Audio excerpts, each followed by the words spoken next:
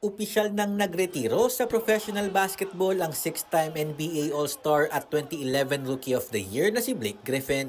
Ito ang inanunsyo ni Griffin sa kanyang social media account nitong Martes kung saan nagpasalamat siya sa lahat ng mga naging bahagi ng kanyang makulay na karera. Sa loob ng labing apat na season, nakapagtala ang 2009 number 1 overall draft pick na mga career high na 22.5 points, 12.1 rebounds at 3.8 assists para maging isa sa limang unanimous Rookie of the Year sa kasaysayan ng NBA.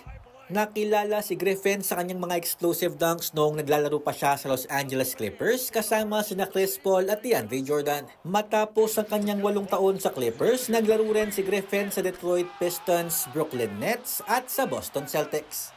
Daryl Clares para sa Pambansang TV sa Bagong Pilipinas.